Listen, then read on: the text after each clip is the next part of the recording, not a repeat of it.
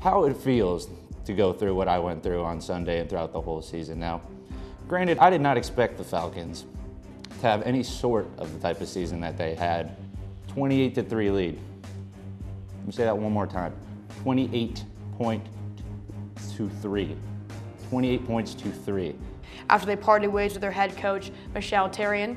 Uh, do you like this move, Sean? Do you think this was a good idea? Uh, do you think like either team in this position has made a mistake in their coaching exchange? For my Final Four, I would go with Kansas, Kentucky, Wisconsin, and Arizona, with Kentucky playing Arizona and Arizona ultimately winning it. I think those two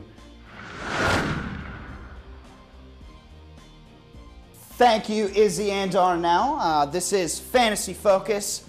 Bachelor number three, how about you? I'll tell you three things about me, girl. It's eat, sleep, football. That's it. If you can't get on board with that, I don't know how we're gonna work. Okay, wow. Um, straight to the point there. I, I like that. What was your initial reaction? We'll start with you, Jose.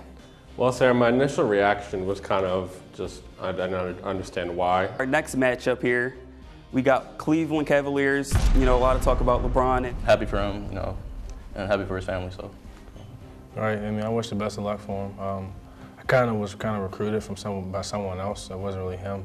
But you know, once I got here, you know, he um, gave me a shot. In other news, Ohio State, Alabama, and Michigan are back to the old ways, beating everyone soundly and fundamentally. SWAT! Absolutely. The king. Coming in at number two, we have Chris Jenkins' shot for the national championship. A little uh, toss back, and he flicked it for the three. But the number one play of 2016, Deshaun Watson, the Hunter Renfrow, the walk-on, for the national championship win against Almighty Bama. Take it away, Chris Fowler. Hunter Renfrow. Little man makes another enormous play.